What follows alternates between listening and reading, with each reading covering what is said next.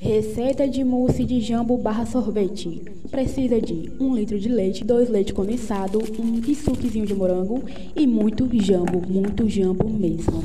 Lava o jambo bastante, bem lavadinho, né? Corta o jambo bem cortadinho, pessoal, aí. Bota no liquidificador, todo o jambo que você cortou. Isso aí. Bota o leite líquido.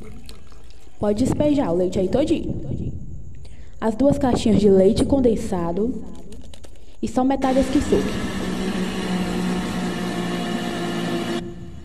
Bota na, na geladeira, congelador, hein? Até ficar cremoso. Tcharam! Tá pronto. Pronto, vamos comer. E o que eu vou fazer com as sementes? Vou plantar, né? Vai que nasce um pé.